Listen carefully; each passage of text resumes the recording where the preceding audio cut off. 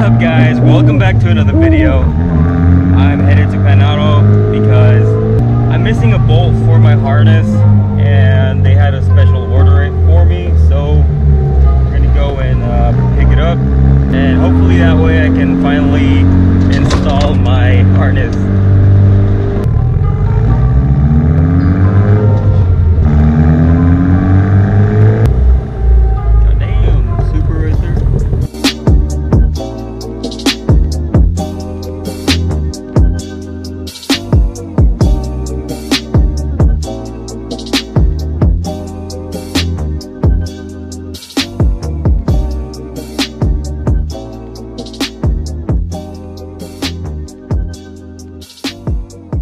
ended up getting the bolt. Here it is. This is what I was missing.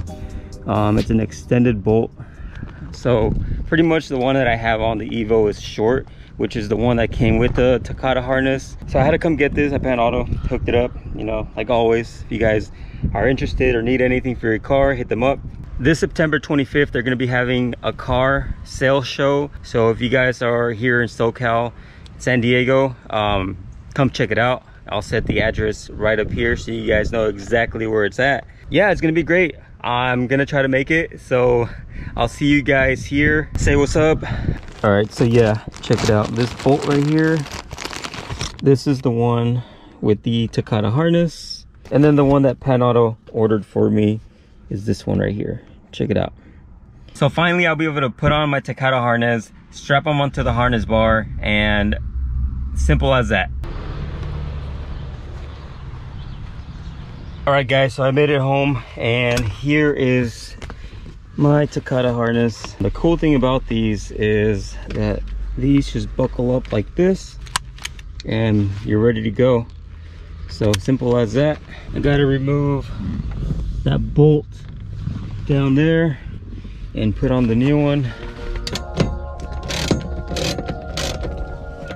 You guys can see the difference in size, which wouldn't allow me to put the the smaller one that I had, which is why I had to get this one. Now to just put it back together.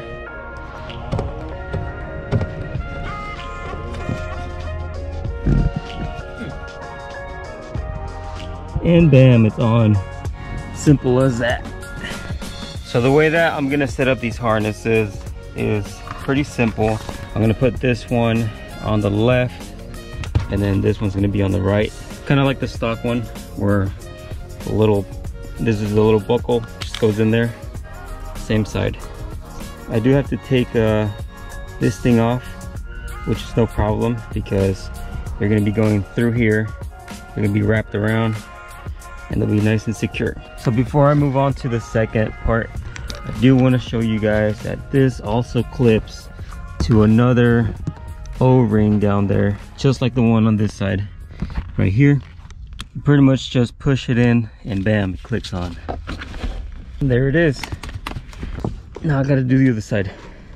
This one just clips on there like so. It's on there nice and tight. All right so i know you guys can probably figure this one out but i'm just going to quickly show you how to set up the seat belts so that they come out like this.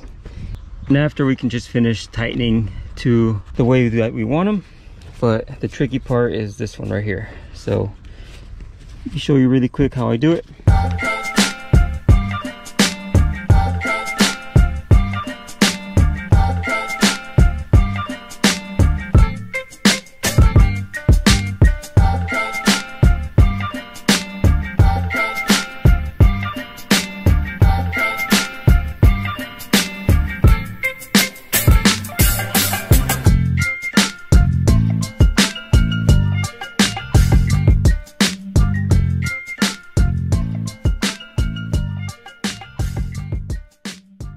just like that the harness is on.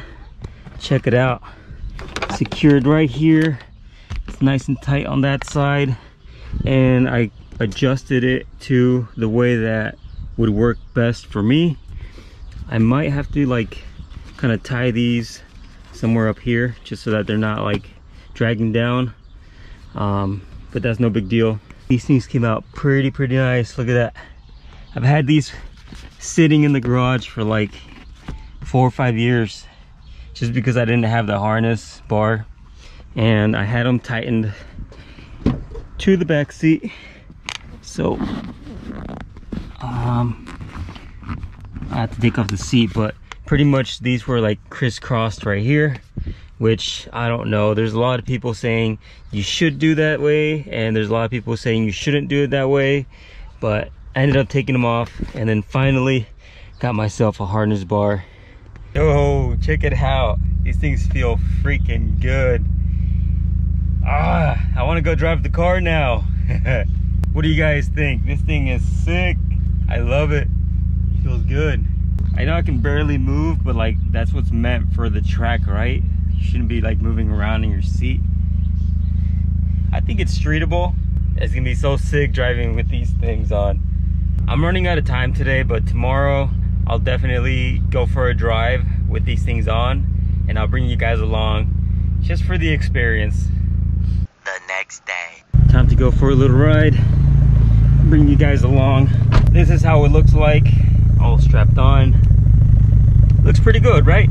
So I noticed that you guys enjoy when I do the POV style, so let's go on for a little ride with the harness so let's go for a little drive. I usually go through these back roads just when i'm cruising enjoying the evo or the other cars. So let's go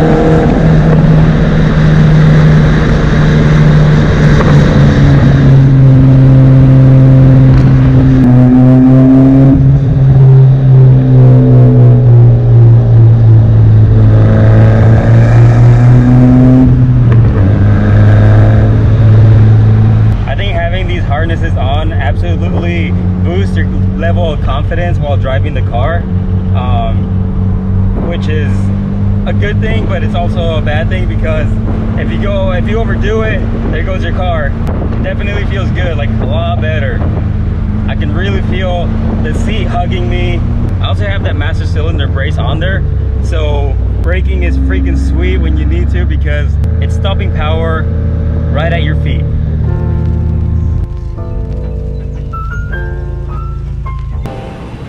and we're back at the pump so hey guys it's super fun having the harness on there. Um, there is one thing that i completely forgot about and it's a little beeping noise that indicates you don't have your seatbelt on but for whatever reason this car after you're driving let's say on the freeway um, it goes away. So maybe it thinks you're on the track.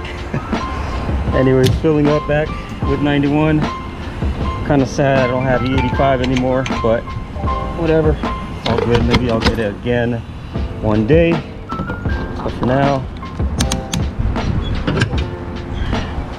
shadow's gonna be running on 91 well that's gonna be it for today's video guys. I hope you guys enjoyed. Don't forget september 25th at Pann Auto they're gonna be having sale and car show so if you guys have some time go check them out. I'll put the little flyer right here so you guys can get all the info.